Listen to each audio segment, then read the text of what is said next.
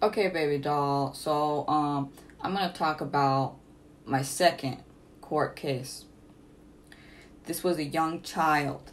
She was she was the politician's daughter, one of these politicians' daughter. Cause I dealt with a lot of politician drama, baby. Okay, so she was the young child of a politician, and she was being molested by her politician father. Okay, so this was a very tough situation. Okay, and so this young girl in Louisiana, she came all the way down there to see me. She was 13 years old and she said that my father was molesting me and if I speak against it, I don't know what would happen. Okay? And, you know, she couldn't even speak up, right? Because they would say, well, you know, little girl, why would we believe you? So, this is what I had to do.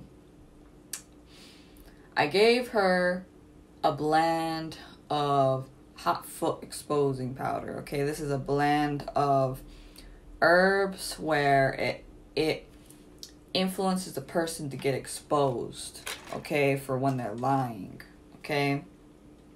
And so she had I told her um wherever he was I continued to molest you, put it under the bed, okay? Or wherever he was, like in your room.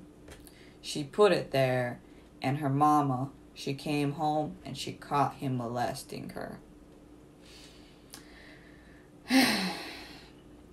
you see, these folks in Louisiana, this opened a whole court case of Louis, a whole court case of drama, but it also healed and warned many folks about this man who was trying to run for office.